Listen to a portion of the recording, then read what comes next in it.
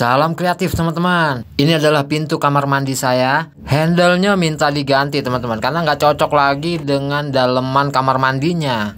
Kadang saya suka nyesel juga ya teman-teman Kenapa ngerenovnya itu kebagusan ya Menurut saya. Akhirnya ini merembet ke bagian-bagian lain. Harus ikut bagus juga Karena kalau enggak ini jadi jomplang banget kelihatannya Buat teman-teman yang baru mau makeover kamar mandinya atau baru ngebangun kamar mandinya atau yang udah di makeover kamar mandinya, teman-teman perlu tahu ini. Setidaknya saya ingin berbagi suka dukanya seperti apa sehingga nggak kaget lagi atau nggak terulang kesalahan yang saya lakukan. Seperti ini misalkan satu ya keramik untuk wastafel itu kalau bisa jangan warna hitam. Kalau warna hitam ini bekas-bekas bercak-bercak sabun atau apa segala macam ini nodanya kelihatan banget teman-teman.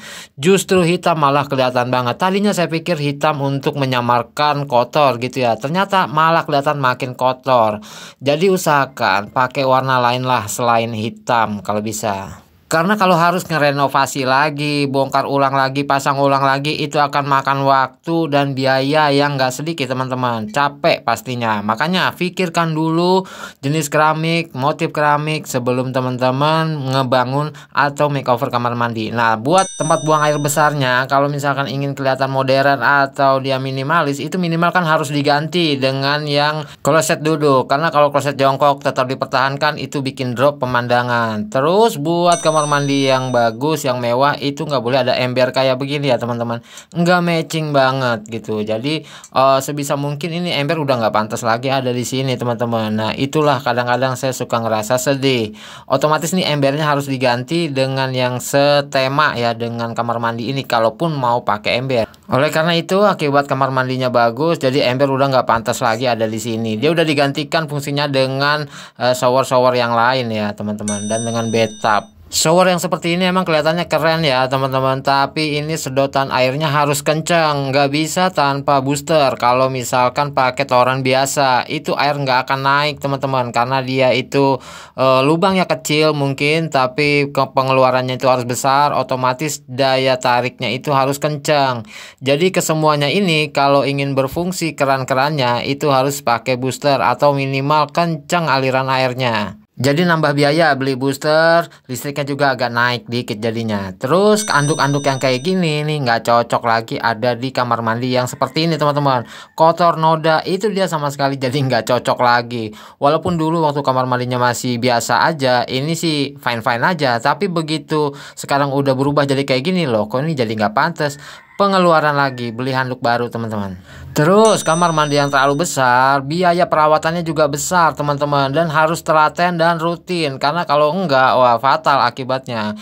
Kamar mandi bagus mewah tapi enggak terawat. Sama aja teman-teman ujungnya horor kalau teman-teman lahannya nggak terlalu besar kayak gini, nggak ada salahnya kamar mandinya itu nggak terlalu besar seperti ini ya. Bathtubnya itu bisa di bawah shower ya. Showernya itu bisa dikondisikan untuk menghadap bathtub ya teman-teman. Pokoknya diatur lah. Jadi mandinya di atas bathtub untuk showernya. Terus masalah keramik lantai nih teman-teman perlu diperhatiin kalau keramik lantai yang terang seperti ini ya kita cari yang kasar biar aman buat manula ataupun buat anak-anak. Cuma masalahnya ini gampang banget kotor jejak-jejak kaki ini bisa kelihatan banget atau gampang kelihatan banget apalagi yang tinggal di kampung nih kayak saya. Habis pakai sendal jepit masuk kamar mandi langsung berbekas dan itu harus rutin kita bersihinnya. Tapi untungnya saya punya trik khusus buat ngebersihinnya supaya gampang teman-teman. Nanti akan saya ser. Buat teman-teman yang baru mau makeover kamar mandinya, saya sarankan untuk desainnya itu yang pertama kali harus ada itu adalah wastafel ya teman-teman. Terus closet dan shower. Nah shower itu di bawahnya bisa kita taruh bathtub. Bathtub ini kita pindahin ke bawah shower ya. Dikondisikan aja ya teman-teman. Buangan airnya jadi ke situ. Nggak ada masalah teman-teman. Itu tetap bagus dan tetap uh, artistik ya. Perawatannya kalau misalkan kecil itu nggak terlalu capek dan nggak terlalu banyak biaya.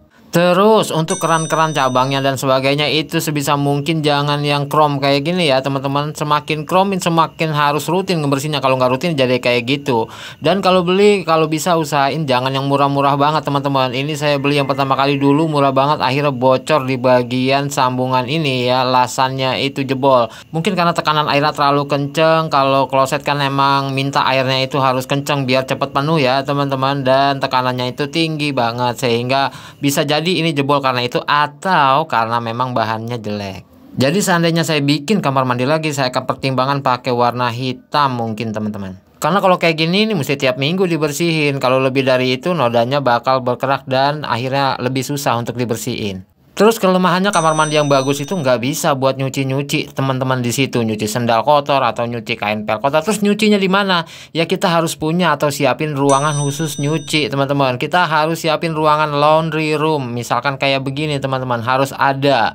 Karena nggak mungkin juga ya teman-teman kamar mandi yang keren itu di dalamnya ada yang kayak begini-begini. Itu bakal jadi nggak keren lagi, nggak minimalis lagi, nggak modern lagi karena kusut jadinya. Nah untuk tempat bagian-bagian yang kusut khusus kita harus alokasikan di tempat khusus misalkan di laundry room kayak begini ini masih dalam tahap renovasi ya teman-teman. Masih berlanjut. Karena apa? Nggak matching dengan sebelahnya kalau masih dalam kondisi kayak gini. Jadi saya ingat kamar mandi yang dulu walaupun sederhana semua masuk di situ ya. Ada mesin cuci dua tabung di situ masuk. Mau gantung-gantung baju kayak pakaian situ nggak ada masalah. Ya tapi karena sekarang udah kayak gini semua harus tertata dan otomatis alokasi tempat harus kita siapkan. Dana juga harus ready Selain harus disiapkan budget pembangunannya juga harus disiapkan budget perawatannya. Kalau teman-teman males bersihin tiap minggu akan berakibat fatal. Teman-teman bisa juga untuk merekrut ART dan itu pengeluaran lagi. Intinya syukuri apa yang ada seperti kata The Massive. Tetap jalani hidup ini melakukan yang terbaik. Jangan menyerah, jangan menyerah, jangan menyerah. Semoga bermanfaat buat teman-teman subscriber atau yang baru saja klik subscribe dan aktifkan loncengnya. Saya doakan semoga sehat selalu, banyak rezeki, makin kreatif dan tentunya diberkahi kesuksesan. Amin.